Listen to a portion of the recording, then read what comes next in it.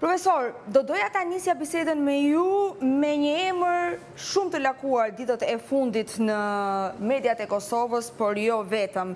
Vrasja e policit serb në Loznicë ka çuar në ekzekutimin e autorit të dyshuar, shqiptarit Faton Hajrizi. Po, ky është një rast i pastër kriminal, do të thotë mhm. që fatkeqësisht mediat e Kosovës, rrjetet sociale dhe përgjithësisht shoqëria kosovare tregon që është akoma në atë fazën primitive ku ë lartësohet një kriminel. ë është një rast tragjik dhe si i tillë është dashur të trajtohet si një rast tragjik dhe jo më më shumë se kaq. Pse është mitizuar kaq shumë emri i tij?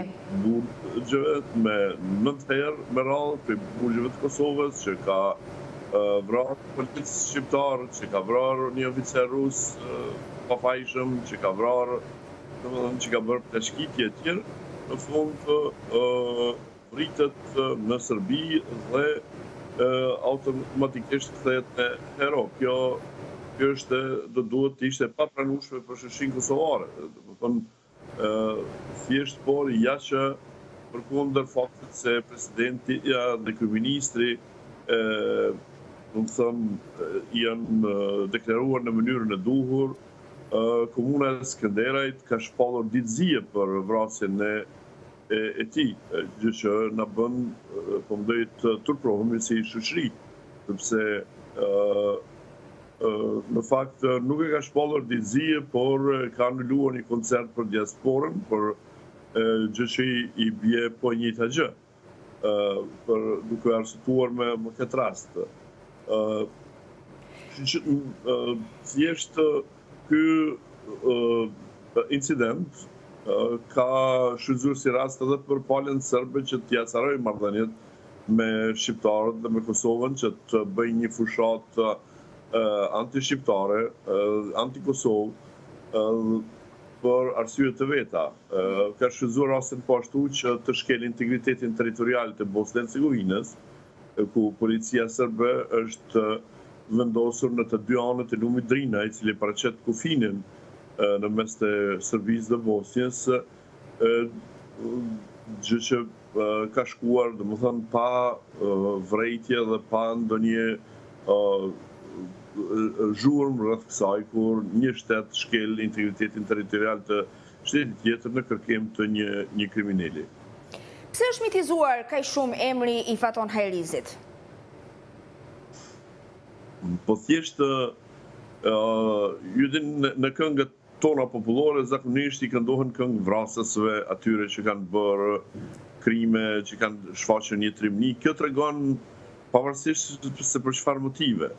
Në këtë rast, sikur motivet e tij të ishin të larta, të ishin patriotike, sigurisht që do të meritonte një gjë të tillë.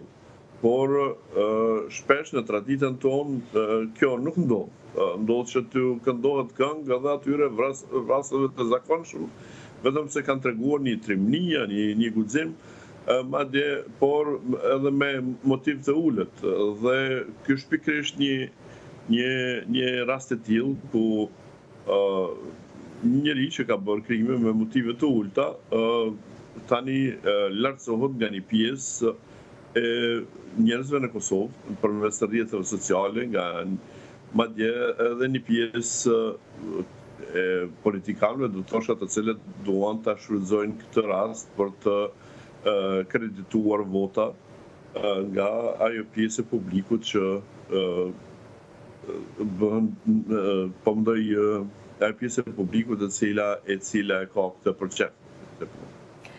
Zoti Spahiu, do doja të dija në lidhje me deklaratat që në mediat e Kosovës janë lëshuar le të themi me shumicë ditët e fundit, madje ka patur kërcënime edhe ndaj gazetarëve më të njohur të Kosovës.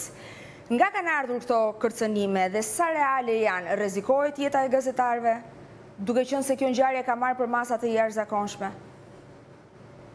Besoj i keni dëgjuar. Ëh, nuk nuk ju dëgjova, më fal, nëse mund ta përsërisni pyetjen. Atëherë, Kjo ngjarje ka marrë përmasa të jashtëzakonshme dhe në shënjestër të po. sulmeve shpesh janë vënë edhe gazetarët më të njohur të Kosovës. Rrezikohet realisht jeta e tyre?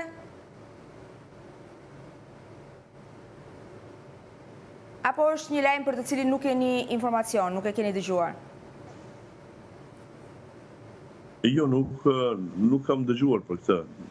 Nuk kam dëgjuar. Dhe tek deklaratat e familjarëve të Faton Hajrizit, të cilët thonë që pa parë trupin ne nuk besojmë që Faton Hajrizi mund të ketë ndruar jetë, pavarësisht se ka ardhur një provë, shenjat e gishtave të viktimës përputhen me ato të Faton Hajrizit, kemi patur edhe deklarata nga Kosova, të cilat thonë se Dadiçit nuk i zihet besë dhe me shumë... Nuk po e dëgjoj fatkesisht, është... Atëherë, do të kemi një ndërprerje fare të shkurtër publicitare, sapo të sistemohet lidhja me profesor Nexhmedin Spahiun dhe rikthehemi vetëm pas pak. Jemi në Breaking, do t'i rikthehemi bisedës me profesorin e shkencave politike, zotin Nexhmedin Spahiu. Atëherë, besoj më dëgjoni tani, profesor? Po, po, dëgjoj tani. Më dëgjoni? Oke. Atëherë, familjarët, po, familjarët e Faton Hajrizit janë shprehur se ne nuk besojmë që i afërmi ynë vërtet ka ndruar jetë, për aq kohë sa nuk kemi parë trupin. Ndërkohë që nga ana tjetër vjen edhe një përgjigje nga Serbia, e cila deklaron se shenjat e gishtërinjve të viktimës përputhen plotësisht me ato të Faton Hajrizit. Por ka patur deklarata edhe në mediat e Kosovës, të cilat thonë se nga Dadiç çfarë nuk pritet dhe mund të jetë e gjithë ngjarja një manipulim. Po edhe mund të jetë, po derisa po derisa kufoma nuk kthehet në Kosovë, nuk mund ta besojmë tërësisht se vërtet ka ndodhur vrasja. Pavarësisht shenjave të gishtërinjve, nuk është kjo një provë? Po, unë nuk e di shenjat e gishtërinjve kujt i janë dërguar, domethënë, sepse nëse ka ndodhur, nëse vërtet ka ndodhur një manipulim, atëherë manipulohet edhe shenjat e gishtërinjve, po nëse e vërteta mund të zbulohet atëherë kur kufoma t'u kthehet familjarëve, në atë rast atëherë mund ta besojmë